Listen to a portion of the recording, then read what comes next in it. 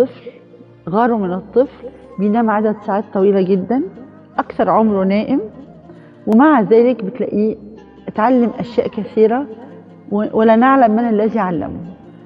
بعد سنة بيتكلم ويقول ألفاظ معينة وبيقول آه آه وهكذا. من الذي علمه كل هذه الفاولز أو ال ال ال الكلمات ال- الحروف المعينة دي؟ سبحان الله. هو تلقى كل هذه العلوم أثناء نومه.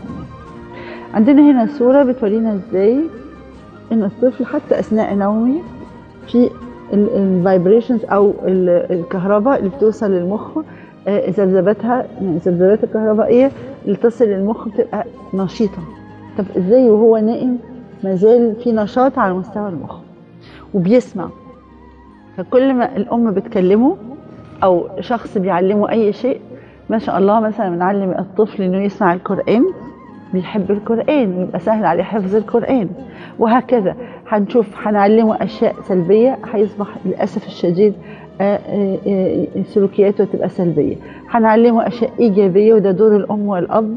حتى أثناء الحمل شرحنا الكلام ده إن وهو في جنين في بطن أمه هو بيسمع أمه. يا ترى هي بتحب إيه؟ بتحب المزيكا هيطلع بيحب المزيكا. وهكذا. الشيء اللي هي بتحبه هو بيتلقاه وهو حتى في مستوى في مرحلة جنين في بطن أمه ما زال بقى الطفل بعد ميلاده يتلقى العلم يتلقى المعلومة سبحان الله وهو نائم. إعجاز من عند الله سبحانه وتعالى.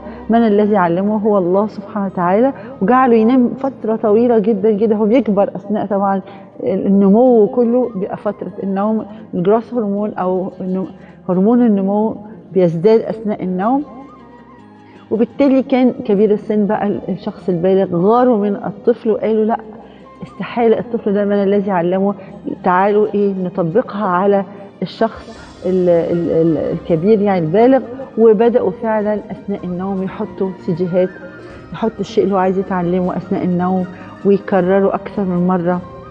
عملية التكرار بيكرر نفس المعلومة نفس المعلومة أثناء النوم بيصحى من النوم سبحان الله مجرد ما بيسمعها بيتلقاها بسهولة جدا جدا ولو إن استيعابه عالي جدا والوقت ضايع من عمري سبحان الله أثناء نومي وبيسهل في نفس الوقت عملية الحفظ